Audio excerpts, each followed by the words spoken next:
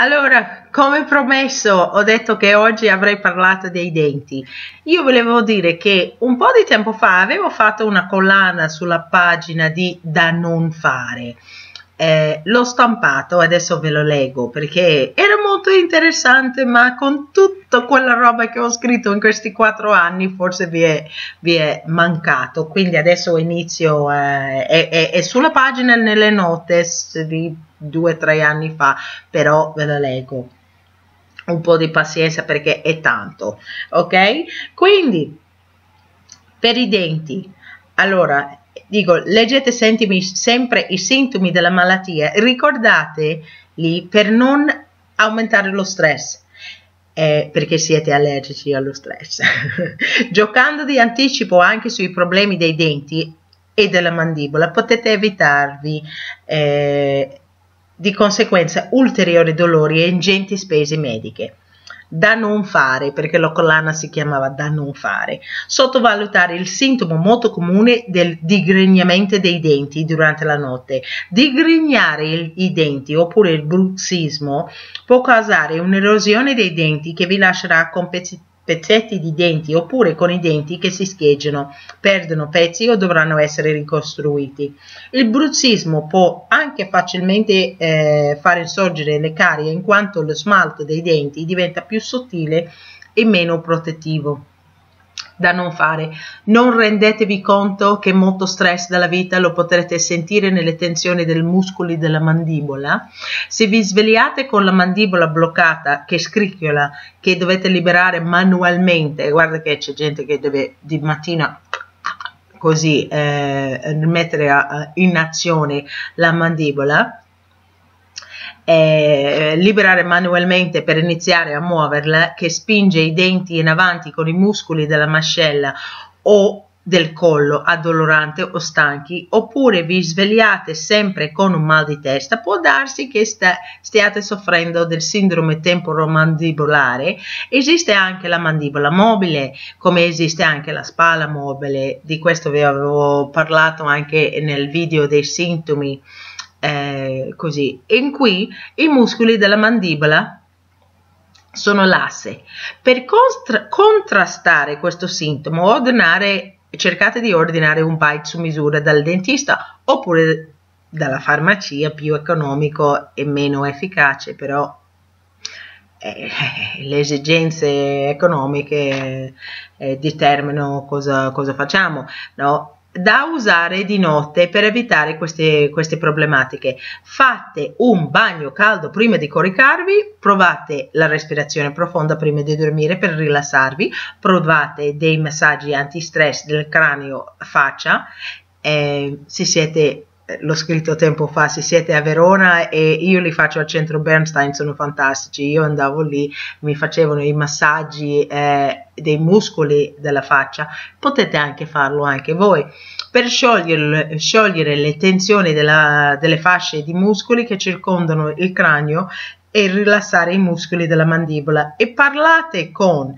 dentista o medico riguardo l'assunzione di magnesio antistress e lo stress fa deperire sempre le scorte di questo elemento. Okay? Questo è anche il grande mo motivo per cui noi siamo sempre carenti di vitamine e aminoacidi. Da non fare, non notare le gengive, gengive che si ristringono guardate sempre con cura. Mentre state combattendo la malattia, ricordate che avete un sistema immunitario compromesso e che lo stress vi rende sempre carente di nutrienti e minerali necessari per una bocca sana e che l'infiammazione, lo ristringimento delle gengive e dello loro insanguinamento può essere conseguenza di una proliferazione batterica e l'acidità combattete e provate a prevenire adottando dei sani abitudini tipo spazzolare dopo ogni pasto o in aggiunto alla spazzolino eh, tradizionale eh, io uso anche quello rotante eh, per una pulizia profonda che è fantastico 5 minuti almeno eh, ed in modo molto delicato massaggiare gentilmente le gengive con lo spazzolino in modo molto delicato, usare il filo interdentale con l'azione su e giù, cioè, così, e non avanti e indietro. Eh, io personalmente ho usato anche l'ulmus rubra, che sarebbe l'olmo rosso, che voi avete visto anche nel mio ehm, eh, protocollo. Corteccia formidabile, ovviamente preso in capsule, eh, non è venduto in Italia, quindi non ne parlo spesso, però si può anche ordinare via online, parlate sempre con il vostro medico, che rigenera l'intestino, l'intestino permeabile, ricordate, e i tessuti della bocca, ha delle proprietà antibatterici che riduce le infiammazioni. State lontani dalla menta in quanto sostanza irritante infiammante per voi, quindi niente gargarismi, collutori commerciali. Da non fare. Non andare dal dentista se vedete che i denti eh, si spostano oppure si rotano. Sì, si rotano su loro stessi. Così, poi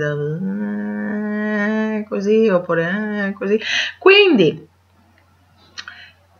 se avete creato dello spazio in, in bocca eh, spingendo i denti durante la notte con il digrignamento o con la pressione mandibolare, è probabile che ci sia più spazio tra i denti e che iniziano anche a rotare e a spostarsi. Quindi c'è da dire da non fare, però c'è da fare, quindi andate dal dentista.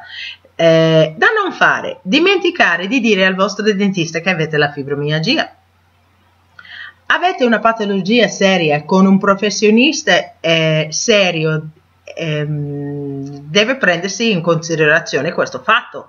Potete avere una diminuita risposta all'anestesia oppure necessitare dell'anestesia in più del normale perché in mezzo all'intervento potete sentire di nuovo il dolore. Questo è successo probabilmente a tantissimi di voi e avete sentito il dentista che diceva come me che ho, ho, fatto un intervento e il dentista diceva ma tu stai simulando, non è possibile che hai tutto questo dolore qua, ma non è proprio possibile, ti abbiamo dato eh, tre dosi da cavallo, tu non dovresti sentire niente. Sì, a quel punto lì non sapevo che avesse, eh, avevo la fibromialgia e quindi ehm, poi sono uscita pensando, allora sono io che sto reagendo un po' eh, troppo. Il dentista dovrà sapere del perché digrignate se avete la mandibola che si blocca, che certi dolori alla bocca e i denti, come nella nevralgia del trigemino,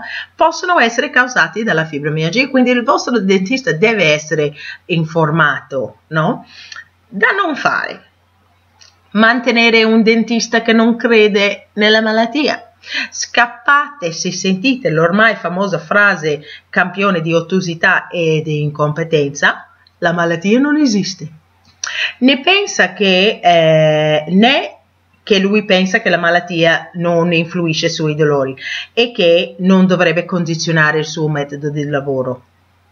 Voi non siete un paziente come tutti gli altri e un qualsiasi professionista che lavora con un fibromialgico dovrà aggiornarsi e trattarlo con il dovuto rispetto e cura. Siete voi il cliente, perché spesso le persone mi raccontano delle storie e io dico, ma era gratis questo trattamento qua? Per quale motivo vi siete lasciati trattare così?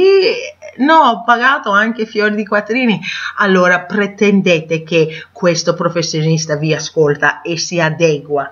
Se non è così, cambiate dentista. Perché incrementare la vostra frustrazione e dolore? Da non fare, ignorare che forse dovete visitare un posturologo, non chiropratico per correggere eventuali squilibri di postura dovuti alle tensioni accumulate a causa eh, degli effetti dell'errata chiusura della bocca. Anche quando il vostro bite sarà corretto, si potranno, eh, si potranno essere formati degli squilibri di postura, spostamento dell'anca, appoggio piedi, le spalle, che potrebbero causare dolori alle ginocchia, alle anche, alle spalle o comunque un po' anche mal di testa, un po' in tutti i sensi. Quindi questo era il mio ehm, lettura di un post di un paio di anni fa dei denti sempre attuali perché ce li avete ancora vero, i denti? Scherzo. No. Quindi andiamo avanti andiamo avanti eh, ricordate di focalizzare. Io ci sarò domani con qualcos'altro di veramente importante e mi raccomando andate avanti, si esce, si esce, si esce.